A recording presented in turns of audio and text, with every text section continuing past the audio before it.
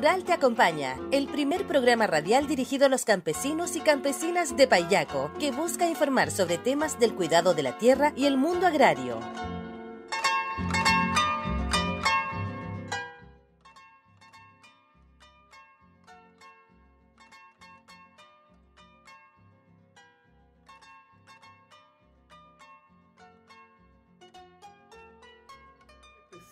A todos nuestros agricultores y nuestras agricultoras de la comuna de Payaco un nuevo programa Rural Te Acompaña.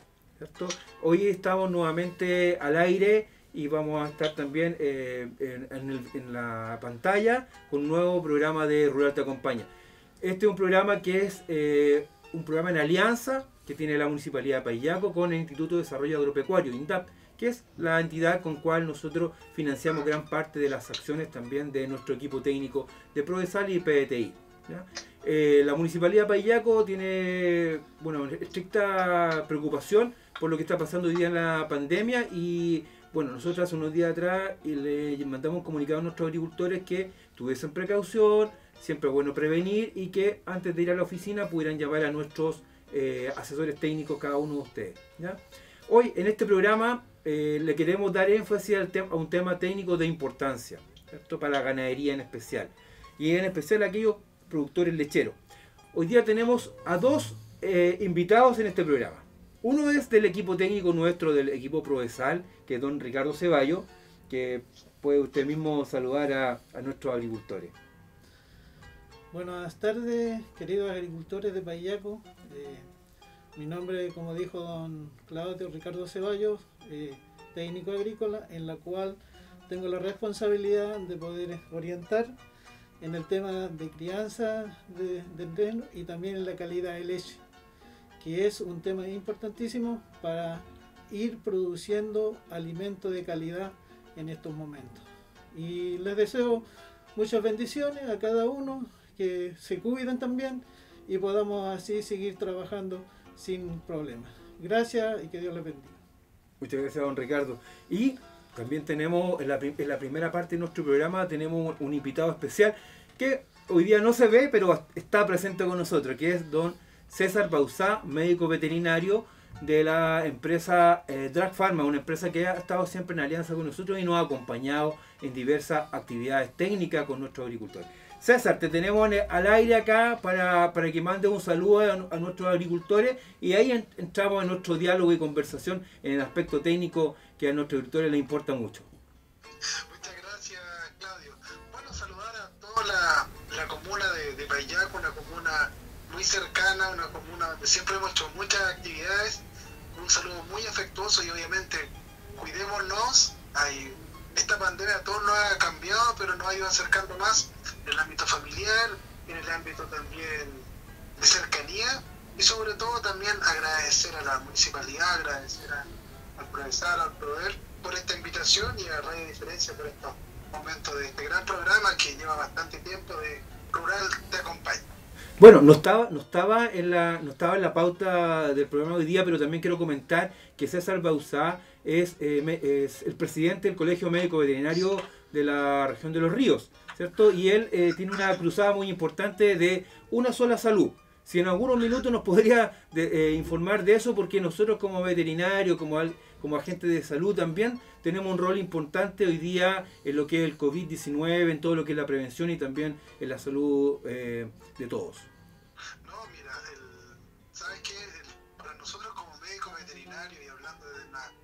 La profesión, es una es una de las profesiones más completas que hay. Cuando uno habla de One Health o una salud, significa de que todo está ligado, desde, desde los animales hacia las personas, por este grupo de enfermedades muy complejas que se llaman enfermedades zoonóticas.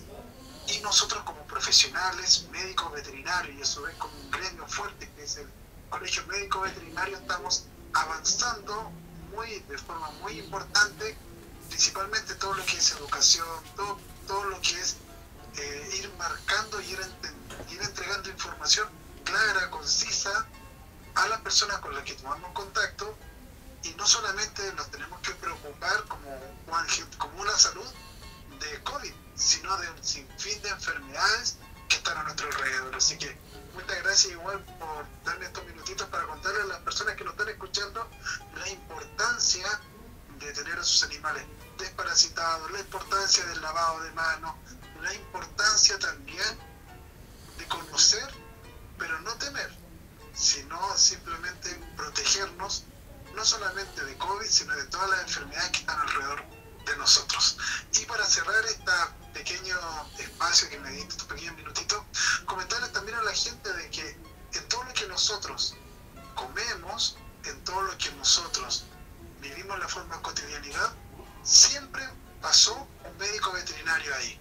La labor de fiscalización, de control en, los, las plantas faenaderas, los mataderos, todo lo que se está haciendo a nivel de control sanitario, todo lo que se hace en torno a la protección de la salud pública, la realizaban los médicos veterinarios.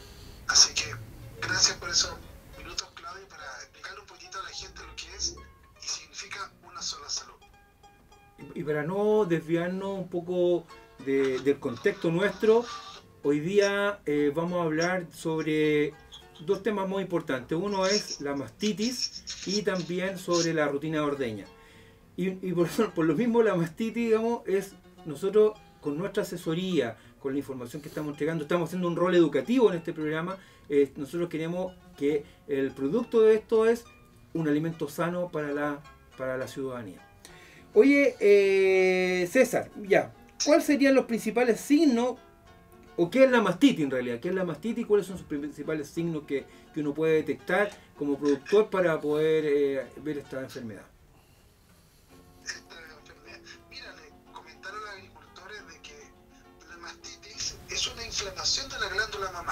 La ubre.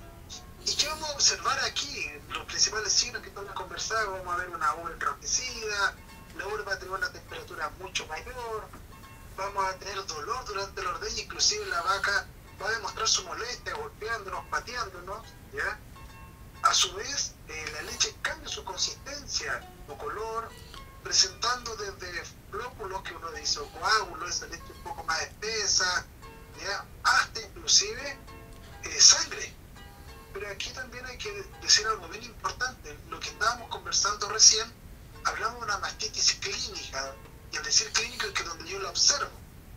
Pero la gran mayoría de nuestras vacas, la gente que se dedica al rubro de la ordeña, de la lechería, sus animales no presentan este tipo de, mastitis clínica.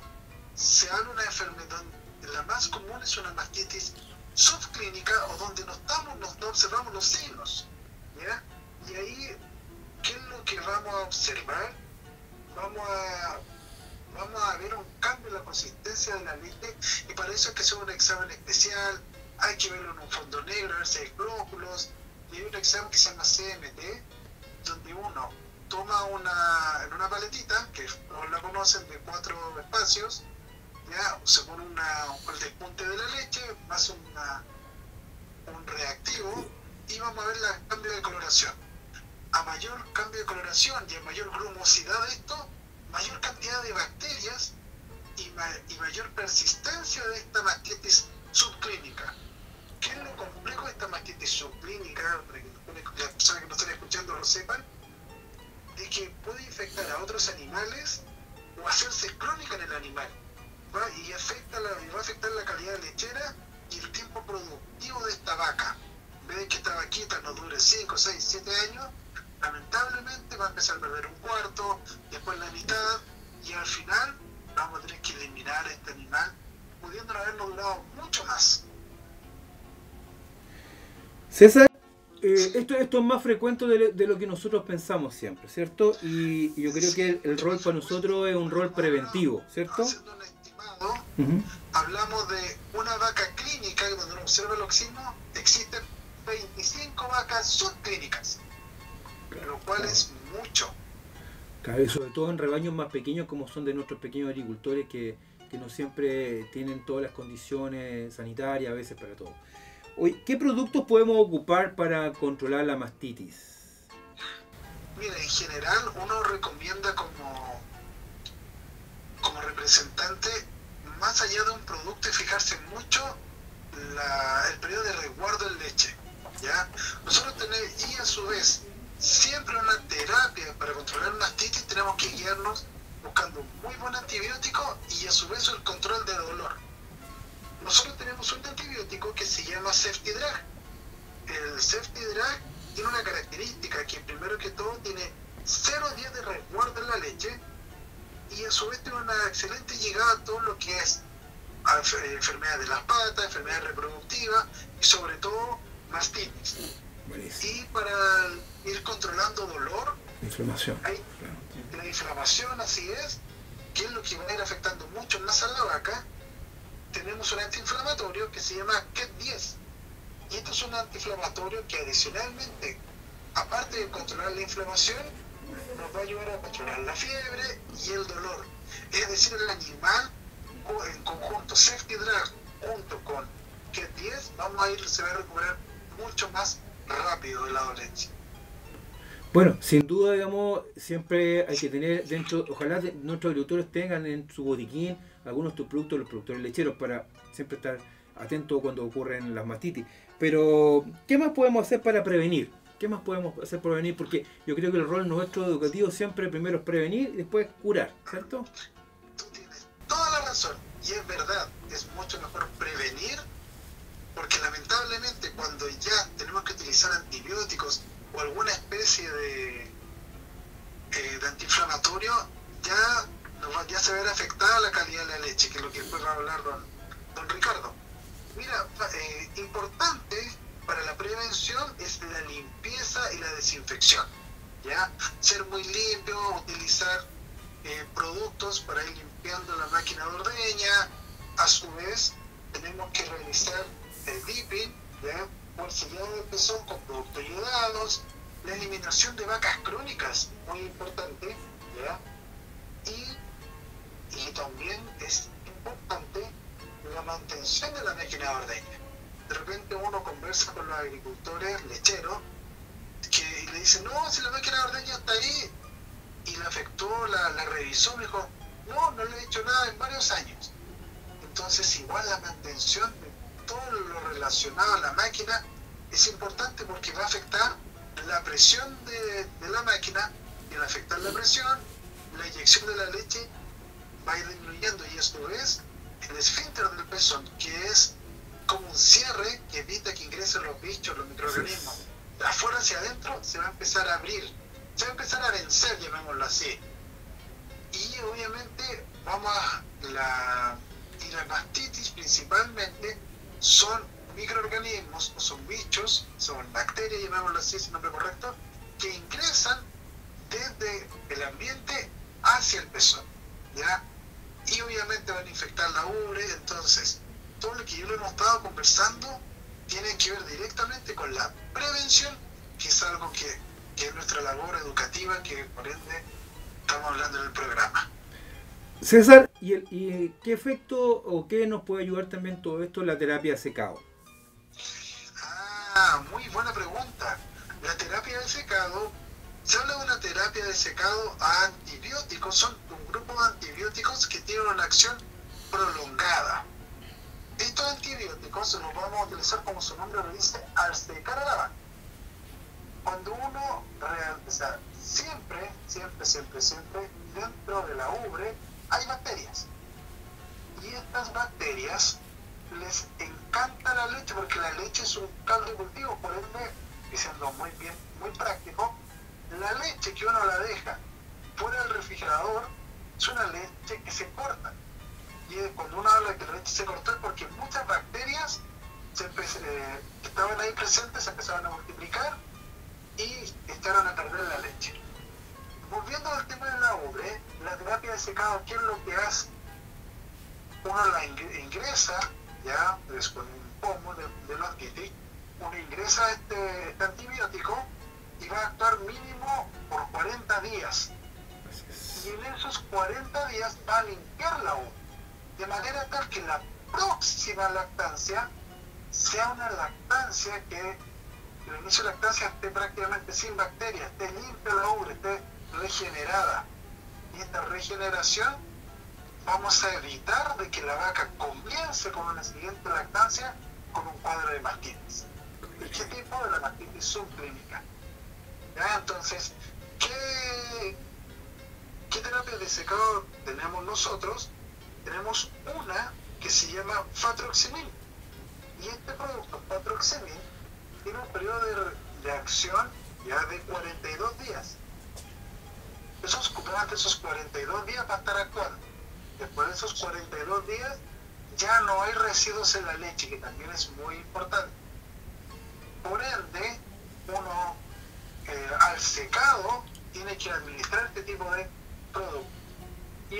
Y las personas que nos están escuchando dicen, uy, pero si yo no tengo yo no tengo lechería, ¿será importante igual hacer esta terapia de secado en vacas de, para la crianza? Sí. porque hay muchos cuadros de diarrea en terneros que son dentro de los primeros 15 días de vida. Y esos cuadros entéricos, estos cuadros de diarrea, estos primeros 15 días, son entregados por la leche en la madre. Entonces uno puede utilizar estas terapias 45 días, 60 días antes de que comience la antes de que vaya a parir la vaca, y comience la siguiente lactancia, el ternero va a tomar leche limpia, una leche cargada de proteína, un calostro de muy buena calidad, y con eso también vamos a evitar estos cuadros, esta diarrea complicada que tienen los animales recién nacidos. Oh, bueno, ha sido una, un, resumen muy detallado eh, de parte de César que nos ha hablado de las características, de la signología de la mastitis, cómo tratarla, eh, aquellos, aquellos, aspectos de prevención que tienen que tener nuestro agricultor y también de, la terapia de secado. Todo porque efectivamente tenemos que tener una ubre sana que efectivamente produzca eh, un buen alimento a futuro. Eh, César, em, em, nosotros sabemos que tú estás en una reunión por allá más al norte de nuestra región y, para liberarte de, esto, una última palabra de, de saludo, despida para despedirse de nuestros agricultores para continuar el programa nosotros. No, bueno, agradecer primero que toda la, invitación. Me hubiese gustado estar ahí presente, pero lamentablemente reuniones de, último minuto me, me, complicaron un poco, pero no así, estamos ahí conectados por vía celular, vía streaming. Entonces la, la idea es nuevamente agradecer y por qué no decirlo, la idea es que una vez cuando terminemos esta pandemia, y a lo mejor así quizás no sabemos cuándo, volver a tener estas reuniones que siempre hemos tenido, estas conversaciones, este contacto estrecho con los agricultores de la comuna de Payaco. Y nuevamente agradecer a todas las personas que nos están escuchando, agradecer a, a la municipalidad por estos, por estos minutos que me otorgaron. Y la, la idea de nosotros como laboratorio es la idea es mantener una cercanía, ser muy constante en eso. Estos medicamentos que se los nombré lo encuentran en cualquier farmacia veterinaria a lo largo de nuestro país Así que, sin más, si no voy a seguir hablando, hablando voy a dejar ahí a, a don Ricardo, que está, está, ahí muy, muy atento a lo que estamos conversando. Así que le agradezco nuevamente y esperamos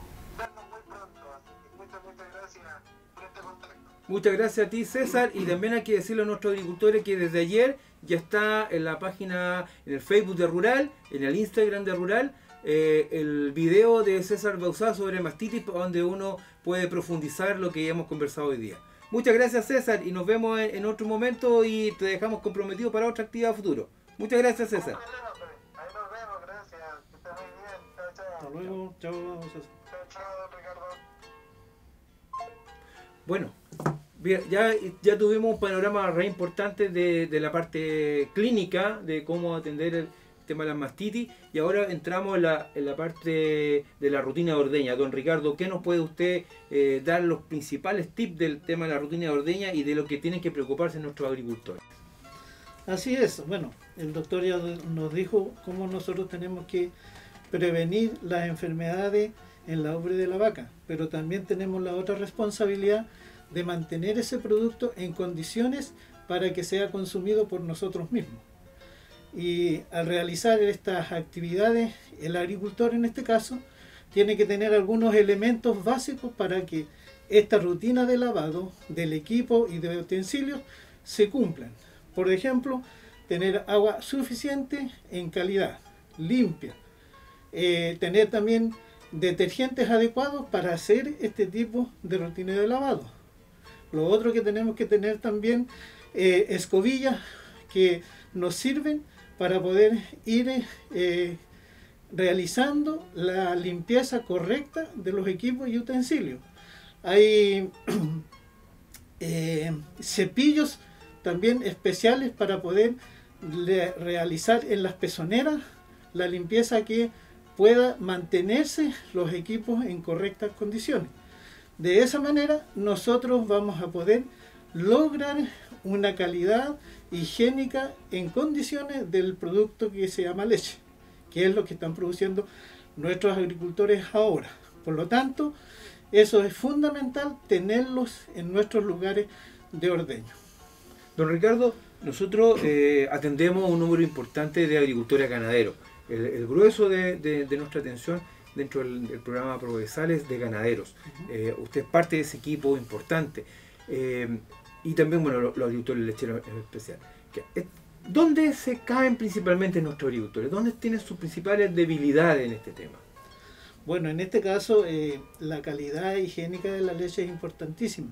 Y para mantener, como decía, esa calidad, nosotros tenemos que tener una rutina de lavado de nuestros eh, equipos de ordeña y utensilios de ordeña. Por lo tanto, hay una pauta para irlo cumpliendo. Como se dice, eh, terminando la ordeña del rebaño, inmediatamente se comienza esta labor de lavado.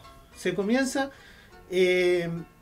corriendo agua fría o tibia por las conductas del equipo de ordeña, empezando por las mangueras y saliendo después por las pezoneras, cosa que pase, esa agua pase a buscar todos los residuos de leche que ha quedado dentro del equipo.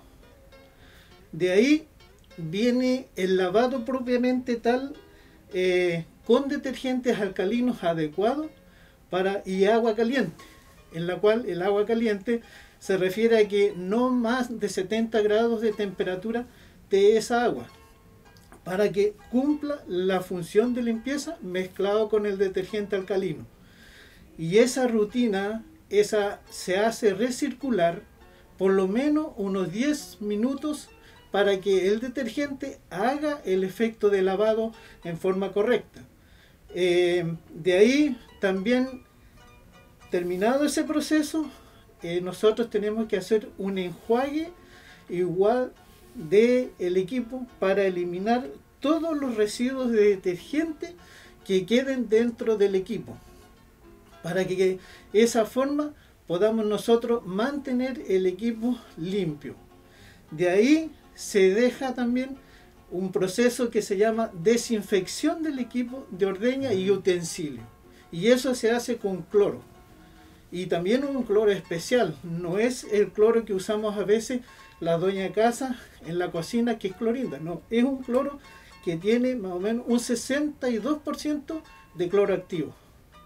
Por lo tanto, ese se hace también recircular por lo menos unos 10 minutos para que el efecto del cloro que, se cumpla desinfectando el equipo de ordeña y utensilios que nosotros vamos a usar en ese sentido. De ahí eh, también se hace un enjuague y se deja eh, un tiempo. Pero esta práctica ojalá la hicieran antes de cada ordeña. Porque de esa manera, si ustedes no han sabido, el efecto activo que empieza el cloro comienza después de 5 minutos. Eh, anteriormente empieza a recircular o mantenerse, pero el efecto para matar las bacterias que hay dentro de los equipos es de 5 minutos en adelante, hasta 10. Y generalmente se hace antes de cada ordeña para que el equipo quede desinfectado. Porque algunos lo hacen sí después de terminada la rutina y hacen la desinfección. Pero el efecto que tiene el cloro en el equipo son máximo 2 horas. Y generalmente las ordeñas son cada 8 a 10 horas. Entonces queda un tiempo de poderse ser contaminado nuevamente el equipo en ese sentido. El otro proceso que es importante para que nuestro equipo se mantiene limpio y libre de eh, restos de leche que quedan, por ejemplo, el calcio o la piedra de leche de forma, se tiene que lavarse con ácido. Un ácido de ordeña que se llama, que todas las eh, empresas que venden estos productos lo tienen y es necesario. Y ese proceso por lo menos se hace una vez por semana. Todo una vez por semana se hace este proceso de aplicación de ácido y ahí no es necesario usar el detergente, sino que se hace exclusivamente con ácido. Y eso sería en este Don Ricardo, yo creo que eh, es fundamental que nuestros agricultores, como lo conversamos con César, que estamos eh, eh, manipulando un alimento que es la leche, digamos, poder hacer todo esto toda esta rutina, digamos. Siempre tener claro, yo, yo entiendo que usted le deja una minuta, ellos hacen como un checklist, porque todas estas cosas tienen su, su momento y tiempo, como dice usted, ¿cierto? Y en el caso de aquellos agricultores que ordeñan a, mano, ¿qué le podemos recomendar a ellos? Bueno, lamentablemente ahí sí, eh, hay ordeñas a mano, pero tan, igual. La limpieza es importante incluso en nuestras personas.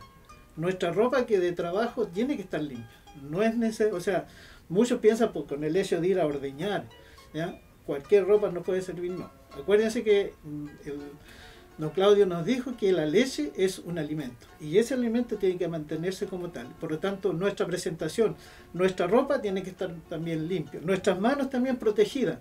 Por eso hay guantes también que se usan para poder proteger nuestras manos ante estos productos fuertes que son los detergentes. Y en ese sentido, hay que tener la responsabilidad y la conciencia de poder ejecutar la labor como corresponde. Sé que a veces aburre esta situación, pero tenemos que hacerlo, porque de esa manera vamos a mejorar nuestros precios en nuestros productos. Sin duda, digamos, la calidad de la leche eh, afecta directamente el precio. Yo creo que nosotros estamos asesorando a nuestros agricultores para que el producto que, que puedan consumir, ¿cierto? puedan vender sea de la mejor calidad. ¿Cierto, don Ricardo? Yo creo que es el sello que nosotros tenemos que entregar en nuestra asesoría. Eh, bueno, está, se nos ha pasado el tiempo volando, don Ricardo. ¿Vio, usted que acá el tiempo en la radio es muy rápido? Eh, ¿Algún saludo, alguna, algún tip en especial que le quiera enviar a sus agricultores eh, de las preocupaciones que tienen que tener en estos, en estos tiempos que, estamos a veces sin atenderlos directamente, pero sí podemos a partir de la radio, a partir del teléfono, enviarle una, recomendación importante a nuestros agricultores. Sí, amigos agricultores, es importante que nosotros podamos tener la conciencia de poder hacer estas labores en forma correcta. Les va a servir, les va a servir a ustedes mismos, porque al realizar estas actividades bien hechas, nosotros vamos a estar tranquilos, en la cual vamos a estar vendiendo también y o haciendo consumir un producto sano y limpio sin preocuparnos de que podemos contaminar a otras personas. En ese sentido, la responsabilidad personal de cada uno como productores es importante que ustedes lo tomen en cuenta. Gracias. Muchas gracias, don Ricardo. Nos basta con decir y recordarle a nuestros agricultores que los teléfonos del Departamento Rural están ahí disponibles nuestros asesores con su teléfono también están disponibles, eh, coordinar la visita técnica, coordinar eh, recomendaciones por mientras eh, la pandemia esté en alza o, tenga alguna rebrote, digamos, tengamos las precauciones. nuestro equipo siempre está a disposición de la pequeña agricultura. un saludo a todos los colegas del departamento que están en forma presencial o están en, teletrabajo asesorando a nuestros agricultores para que, porque como lo han dicho todos, la agricultura no para y para que no pare tiene que tener una buena asesoría.